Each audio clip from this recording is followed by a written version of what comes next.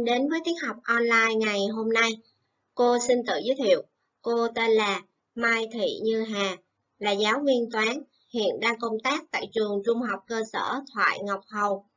Cô rất vui vì lại được tiếp tục đồng hành cùng các em trong chủ đề về số hữu tỷ. Trước khi bắt đầu vào bài mới, các em chuẩn bị cho cô đầy đủ dụng cụ học tập. Trong các chương trình thiên văn học, các em đã được biết trái đất có khối lượng là 5,9722 nhân 10 mũ 24 kg. Ở một ví dụ khác, cô có giải ngân hà có đường kính khoảng 10 mũ 21 m và chứa khoảng 10 mũ 7 đến 10 mũ 12 ngôi sao.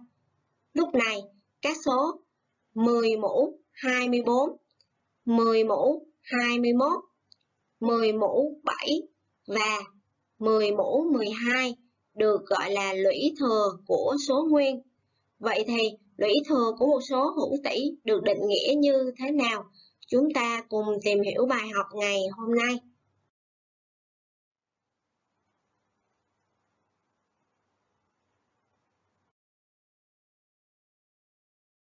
Tương tự lũy thừa của số nguyên thì cô có định nghĩa lũy thừa của một số hữu tỷ x như sau. Lũy thừa bậc n của số hữu tỉ x là tích của n thừa số x. Cô ký hiệu x mũ n. Khi đó, x mũ n sẽ bằng x nhân x nhân x nhân chấm chấm chấm và nhân đến x sẽ có n thừa số x nhân lại với nhau với n thuộc n sao. Lúc này, cô có cách đọc lũy thừa như sau x mũ n hoặc x lũy thừa n với x là cơ số và n là số mũ. Cụ thể, cô có ví dụ sau. 0,5 mũ 12. Trong đó, cơ số sẽ là 0,5 và số mũ là 12. x mũ 2. Cơ số là x và số mũ là 2 x mũ 3, cơ số là x và số mũ là 3. Ở đây, x mũ 2 cô còn có cách đọc khác là x bình phương. x mũ 3 cô còn có cách đọc khác là x lập phương. Các em để ý, khi n bằng 1 thì x mũ 1 sẽ bằng x. Ngoài ra, cô còn có quy ước sau x mũ 0 sẽ bằng 1 với x khác 0. Tiếp theo, cô và các em hãy cùng nhau vận dụng định nghĩa lũy thừa của một số hữu tỷ để giải bài tập số 1, tính. Câu A nhỏ, âm 20,8 tất cả mũ 0. Thì ở phần trước cô đã có quy ước với mọi số hữu tỷ x bất kỳ khác 0. Ta luôn có x mũ 0 sẽ bằng 1 Do đó, kết quả câu A cô sẽ thu được là bằng 1. Câu B nhỏ, 3 phần 4 tất cả mũ 2. Vận dụng định nghĩa lũy thừa của một số hữu tỷ, cô sẽ tiến hành khai triển ra được như sau. 3 phần 4 tất cả mũ 2 chính là bằng 3 phần 4 nhân 3 phần 4. Sử dụng quy tắc nhân hai số hữu tỷ, cô thu được kết quả là bằng 9 phần 16. Cô C nhỏ, trừ, mở ngoặc, âm 1 phần 2, đóng ngoặc, mũ 3. Tương tự như câu B, vận dụng định nghĩa lũy thừa của một số hữu tỷ, cô sẽ khai triển ra được như sau. Âm 1 phần 2 tất cả mũ 3 chính là bằng âm 1 phần 2 nhân âm 1 phần 2 nhân âm 1 phần 2. Dấu trừ phía trước cô ghi lại cô tiến hành nhân các số hữu tỉ bên trong ngoặc, thu được kết quả là âm 1 phần 8 và giữ nguyên dấu trừ phía trước. Cuối cùng, cô phá ngoặc sẽ thu được kết quả là 1 phần 8.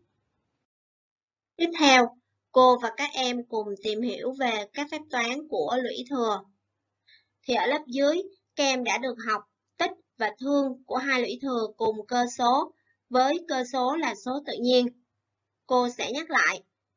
Với số tự nhiên A, ta có A mũ M nhân A mũ N chính là bằng A mũ M cộng N. Và A mũ M chia A mũ N chính là bằng A mũ M trừ N. Với A khác không M lớn hơn hoặc bằng N. Thì tương tự như đối với số hữu tỉ X, cô cũng có phép toán thứ nhất. X mũ M nhân X mũ N sẽ bằng X mũ M cộng N. Và phép toán thứ hai, X mũ M chia X mũ N sẽ bằng X mũ M trừ N với X khác không, m lớn hơn hoặc bằng n. Để tìm ra được phép toán thứ ba, cô và các em cùng thực hiện phép so sánh sau. Vận dụng định nghĩa lũy thừa của một số hữu tỉ, cô khai triển ra được như sau. 2 mũ 3 tất cả mũ 2 sẽ bằng 2 mũ 3 nhân 2 mũ 3. Vận dụng phép toán thứ nhất, cô thu được kết quả. Từ đây, Cô có kết luận như sau. 2 mũ 3, tất cả mũ 2 sẽ bằng 2 mũ 6. Từ đó cô rút ra được phép toán thứ ba. x mũ m tất cả mũ n sẽ bằng x mũ m nhân n. Tiếp tục, các em cùng thực hiện phép so sánh sau. 2 nhân 5 tất cả mũ 2 và 2 mũ 2 nhân 5 mũ 2. Nhận xét thấy 2 nhân 5 tất cả mũ 2 chính là bằng 10 mũ 2 và bằng 10 nhân 10. Kết quả là bằng 100.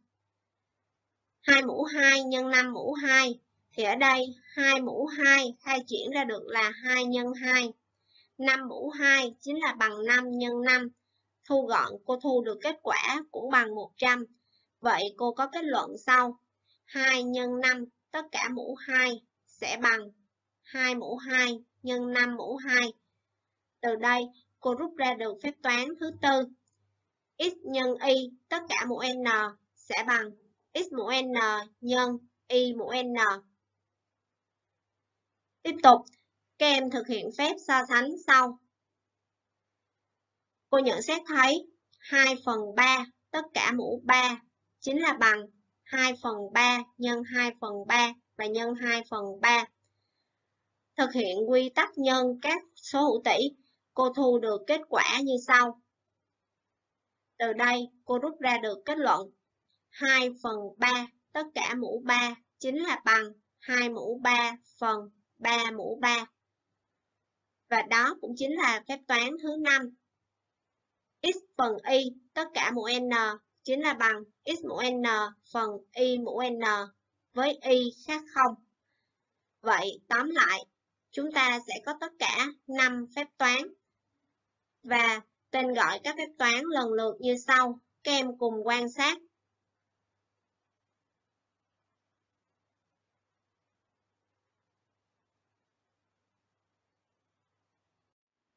Vận dụng các phép toán của lũy thừa cô và các em cùng làm bài tập sau. Điền số thích hợp vào chỗ chấm. Các em quan sát câu A. Vế trái có dạng lũy thừa của lũy thừa. Do đó, cô sẽ sử dụng công thức số 3. Theo công thức số 3, M tương ứng sẽ bằng 3. N tương ứng là 2. Chỗ trống cần điền chính là tích của M với N. Do đó, cô sẽ lấy 3, cô nhân cho 2 và kết quả thu được là 6. Các em quan sát câu B. Vế trái có dạng tích của hai lũy thừa cùng số mũ. Do đó cô sẽ sử dụng công thức số 4. Thì theo công thức số 4, x tương ứng chính là 1 phần 2 và y tương ứng sẽ là 4. Chỗ trống cần điền chính là tích của x và y. Do đó cô sẽ lấy 1 phần 2 cô nhân cho 4. Kết quả cô thu được chính là bằng 2. Các em quan sát câu C. Vế phải của câu C có dạng thương của hai lũy thừa cùng số mũ. Do đó, cô sẽ sử dụng công thức số 5. Theo công thức số 5, x tương ứng sẽ là 8, y tương ứng sẽ là 4 và n tương ứng sẽ là 5. Do đó, chỗ trống bên ngoài dấu ngoặc cô sẽ tìm được đó chính là 5. Và chỗ trống cần điền bên trong dấu ngoặc chính là thương của x với y. Do đó, cô sẽ lấy 8, cô chia cho 4 và kết quả cô thu được chính là bằng 2. Để hiểu rõ hơn, cô và các em cùng làm bài tập số 2, tính. Các em quan sát đề câu số 1. Cô có nhận xét 1 phần 5 tất cả mũ 3 chia 1 phần 5 tất cả mũ 2 có dạng thương của hai lũy thừa cùng cơ số. Do đó, cô sẽ sử dụng công thức x mũ m chia x mũ n bằng x mũ m trừ n. Kết quả cô thu được 1 phần 5 tất cả mũ 1. Theo quy ước, 1 phần 5 tất cả mũ 1 chính là bằng 1 phần 5. Cô giữ nguyên âm 5 phần 6. Vận dụng định nghĩa lũy thừa của một số hữu tỷ, cô tính được âm 1 phần 2 tất cả mũ 3 chính là bằng âm 1 phần 8. Sử dụng quy tắc cộng trừ các số hữu tỷ, cô thu được kết quả cuối cùng âm 91 phần 120. Tiếp tục, các em quan sát câu số 2. Để thực hiện được câu số 2, đầu tiên các em cần phân tích tất cả các cơ số về thừa số nguyên tố. Cụ thể, cơ số 9 cô phân tích thành 3 mũ 2. Cơ số 27 cô phân tích thành 3 mũ 3 và cơ số 3 cô giữ nguyên. Quan sát 3 mũ 2 tất cả mũ 5 có dạng lũy thừa của lũy thừa. Do đó cô sẽ sử dụng công thức x mũ m tất cả mũ n chính là bằng x mũ m nhân n và tương tự như đối với 3 mũ 3 tất cả mũ 2. Do đó kết quả cô thu được 3 mũ 10 nhân 3 mũ 6 và cô giữ nguyên mẫu số. Các em tiếp tục quan sát, nhận xét thấy 3 mũ 10 nhân 3 mũ 6 có dạng tích của hai lũy thừa cùng cơ số. Do đó, cô sẽ sử dụng công thức x mũ m nhân x mũ n bằng x mũ m cộng n.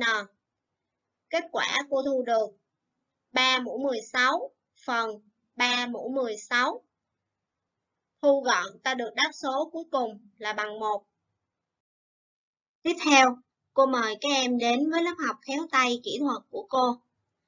Để hưởng ứng cho phong trào trao yêu thương nhận hạnh phúc các bạn trong lớp muốn làm các hộp quà hình lập phương để gửi đến các hoàn cảnh khó khăn. Từ đây, cô có một tình huống đặt ra cho các em như sau. Nếu biết độ dài cạnh của hộp quà là 7,5cm và cần dán giấy bìa tất cả các mặt ngoài của hộp quà đó, thì cần dùng bao nhiêu cm vuông giấy màu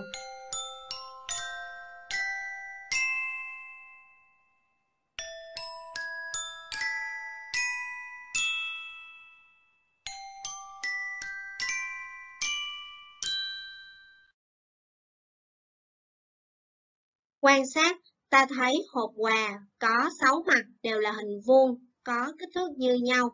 Do đó, để tính ra được diện tích giấy dán, cô sẽ lấy diện tích của một mặt hình vuông nhân cho 6. Trong đó, diện tích của hình vuông chính là bằng A bình, với A là độ dài một cạnh của hình vuông. Thay số vào, cô được đáp số là 337,5 cm vuông. Các em theo dõi, đây là bài làm hoàn chỉnh của cô. Sau khi phong trào trao yêu thương, nhận hạnh phúc kết thúc, đã có rất nhiều món quà được trao tận tay đến những em nhỏ có hoàn cảnh khó khăn.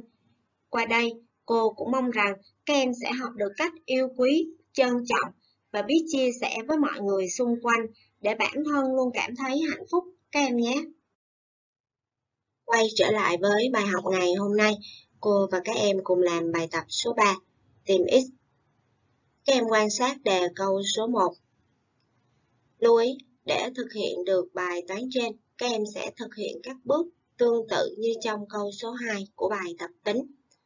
Cụ thể, đầu tiên cô sẽ phân tích tất cả các cơ số về thừa số nguyên tố. Cơ số 4, cô phân tích thành 2 mũ 2. Cơ số 25, cô phân tích thành 5 mũ 2. Cơ số 10, cô phân tích thành 2 nhân 5. Các em quan sát 2 mũ 2 tất cả mũ 8 có dạng lũy thừa của lũy thừa. Do đó, cô sẽ sử dụng công thức x mũ m tất cả mũ n sẽ bằng x mũ m nhân n. Cô thu được 2 mũ 16. Và tương tự cho 5 mũ 2 tất cả mũ 7, cô tính được là bằng 5 mũ 14. Các em quan sát mẫu số, ta nhận xét thấy 2 x 5 tất cả mũ 15 có dạng lũy thừa của một tích. Do đó, cô sẽ sử dụng công thức x nhân y tất cả mũ n sẽ bằng x mũ n nhân y mũ n. Do đó, cô thu được 2 mũ 15 nhân 5 mũ 15. Tới đây, các em sẽ sử dụng công thức x mũ m chia x mũ n bằng x mũ m trừ n để tiến hành thu gọn các lũy thừa cùng cơ số. Do đó, kết quả cô thu được là trị x sẽ bằng 2 phần 5. Và vì 2 phần 5 lớn hơn 0, do đó cô sẽ suy ra được x sẽ bằng 2 phần 5 hoặc x sẽ bằng âm 2 phần 5. Tương tự, các em quan sát câu số 2. Chúng ta sẽ tiến hành làm tương tự các bước như ở câu số 1. Cụ thể, đầu tiên cô sẽ phân tích tất cả các cơ số về thừa số nguyên tố. Cơ số 12 cô phân tích thành 2 mũ 2 nhân 3. Cơ số 25 cô phân tích thành 5 mũ 2. Cơ số 20 cô phân tích thành 2 mũ 2 nhân 5. Cơ số 9 cô phân tích thành 3 mũ 2.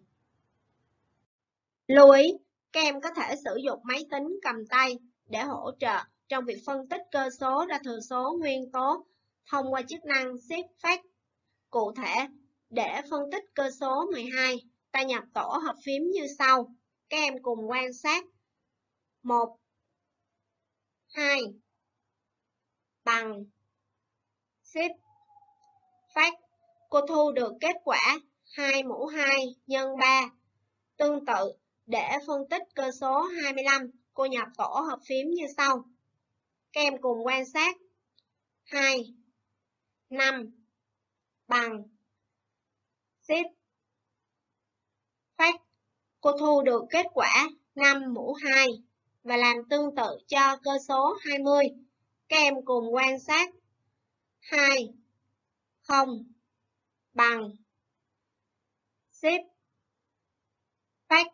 cô thu được kết quả 2 mũ 2 nhân 5 và cuối cùng là đối với cơ số 9 các em cùng quan sát 9 bằng xếp fact cô thu được kết quả là 3 mũ 2 tiếp theo các em sẽ vận dụng các phép toán của lũy thừa để tính toán như trong câu số 1 Lưu ý, các em có thể bấm nút pause trên màn hình để tạm dừng.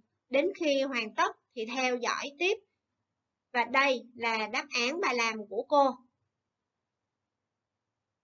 Bài học ngày hôm nay, các em cần nắm những nội dung chính như sau. Thứ nhất, định nghĩa, cách đọc, quy ước về lũy thừa của một số hữu tỷ. Thứ hai, các phép toán về lũy thừa của một số hữu tỷ và cuối cùng là cách vận dụng kiến thức và bài toán tính và tìm x.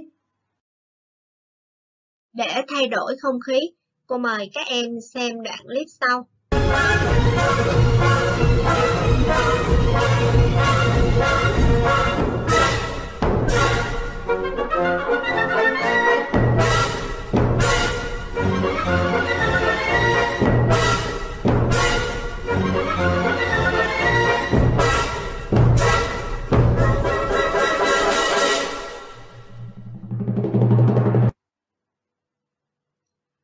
Đoạn clip trên để cho cô và các em thấy được cuộc sống đơn giản là một chuỗi những sự lựa chọn. Nhất định sẽ có lúc chúng ta sẽ phải nhìn lại. Vậy hãy lựa chọn sao cho khi nhìn lại các em không cảm thấy hối hận, chứ đừng lựa chọn chỉ vì ham muốn nhất thời. Từ bài toán về sự lựa chọn ở trên, cô có một tình huống đặt ra cho các em như sau. Trong giờ sinh viên nghỉ giải lao, Ông chủ một công ty máy tính xin vào lớp học và có một đề nghị rất hấp dẫn. Tuần tuyển duy nhất một sinh viên giỏi, làm việc trong 30 ngày. Công việc rất khó khăn, nhưng tiền lương cũng khá thú vị. Ứng viên được nhận vào làm việc, lựa chọn một trong hai phương án trả lương sau. Phương án 1, nhận một lần, tiền lương là 100 triệu đồng. Phương án 2, ngày đầu nhận một đồng, ngày sau gấp đôi ngày trước đó. Vậy, nếu em là cậu sinh viên được nhận vào làm, em sẽ lựa chọn phương án trả lương nào?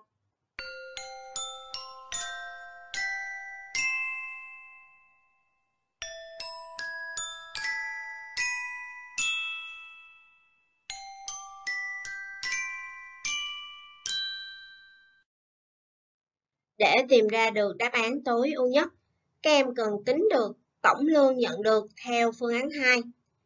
Sau đó hãy so sánh với mức lương nhận được ở phương án 1. Vì thế, cô sẽ kẻ bảng chia thành 30 ngày như trên màn hình. Tiếp theo, cô mời các em theo dõi xem cô tính như thế nào nhé.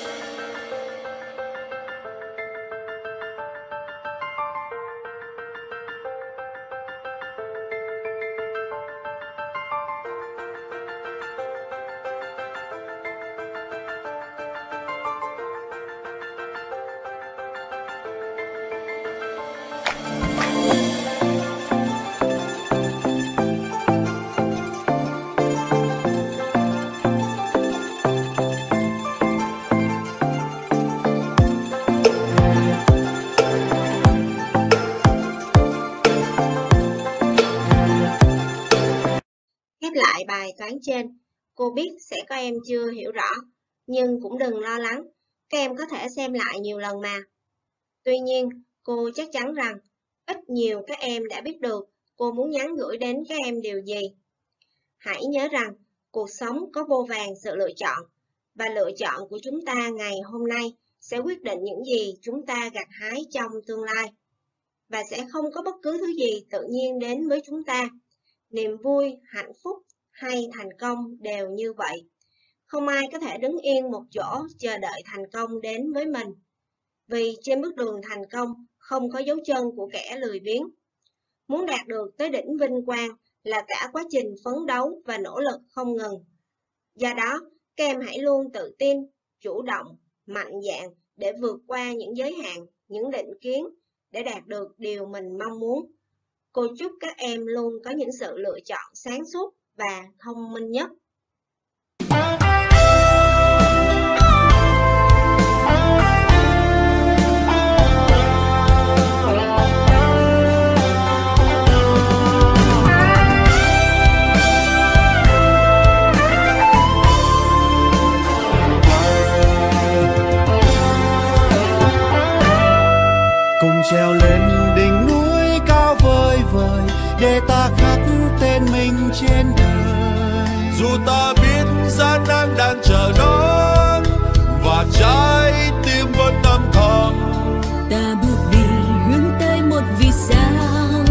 Chặng đường nào trải bước trên hoa hồng bàn chân cũng khắc đau vì những muối gai. Đường vinh quang đi qua muôn ngàn sóng gió. Lời hứa ghi trong tim mình vẫn bước đi hiên ngang đầu ngầm cao.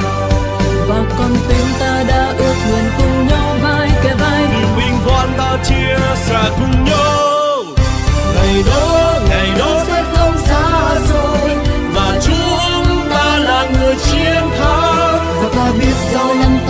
treo leo trên đường xa vừa sang nắng ta vươn tới những đỉnh